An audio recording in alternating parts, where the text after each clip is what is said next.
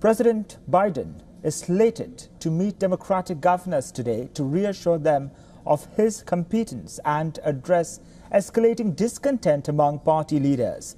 This after Texas Congressman Lloyd Doggett became the first Democrat in the House of Representatives to publicly urge the president to step aside. According to a recent Ipsos Reuters poll, one in three Democrats think Biden should end his re-election bid. The calls for the president to sit out of the race are prompted majorly by his stumbling performance during the last week's debate. In an attempt at damage control, the White House in a statement said that the face-off with Trump was nothing but a bad night for Biden. We understand. We understand. We're not taking away from what you all saw or what the American people saw. We understand. It was a bad night.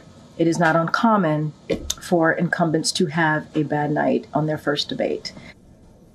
However, the Ipsos Reuters poll also found that no prominent elected Democratic would have fared any better than Biden against Trump. If we talk numbers, both Biden and Trump maintained the support of 40% of the registered voters, indicating that Biden has not lost any ground since the CNN debate. As for other Democrats, only Michelle Obama, the former First Lady of the United States, outperformed Biden. Michelle Obama led Trump 50% to 39% in a hypothetical matchup. This despite becoming author maintaining that she does not intend to run for president. Speaking of Vice President Kamala Harris, she trailed Trump by 1% point.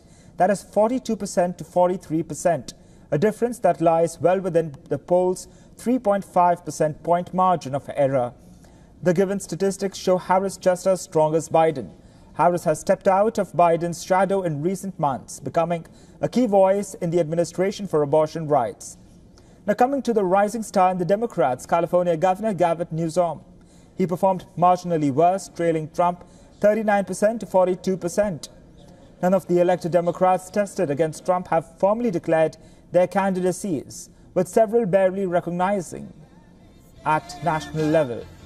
The poll, which was conducted online, surveyed 1,070 U.S. adults nationwide.